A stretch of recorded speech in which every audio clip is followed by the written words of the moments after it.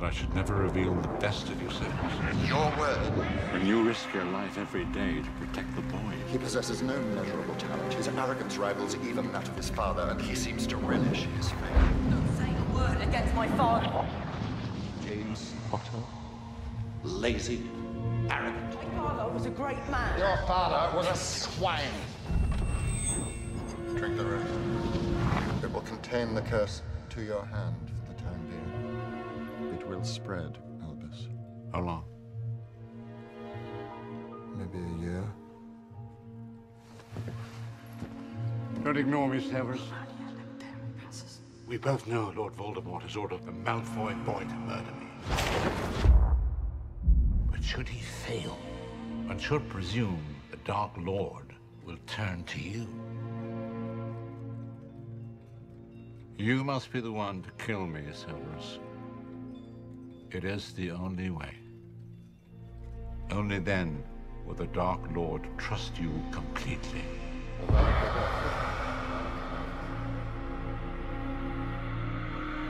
There will come a time when Harry Potter must be told something. But you must wait until Voldemort is at his most vulnerable. Must be told what? The night Lord Voldemort went to Godric's Hollow to kill Harry, and Lily Potter cast herself between them, the curse rebounded. When that happened, a part of Voldemort's soul latched itself onto the only living thing it could find Harry himself. There's a reason Harry can speak with snakes. There's a reason he can look into Lord Voldemort's mind. A part of Voldemort lives inside him.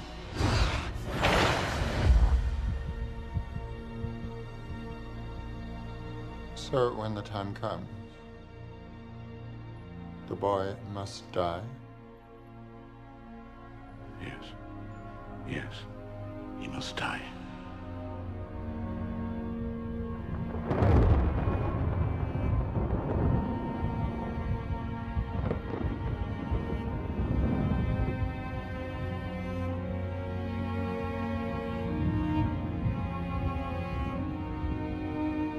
You've kept him alive so that he can die at the proper moment. You've been raising him like a pig for slaughter. Don't tell me now that you've grown to care for the boy.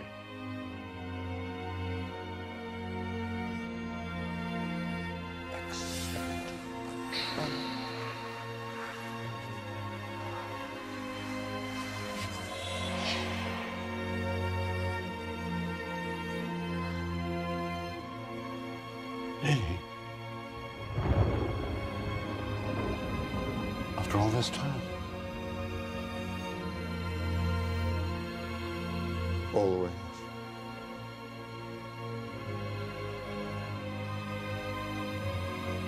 So when the time comes, the boy must die. Yes. He must die. And Voldemort himself must do it. That is essential. So when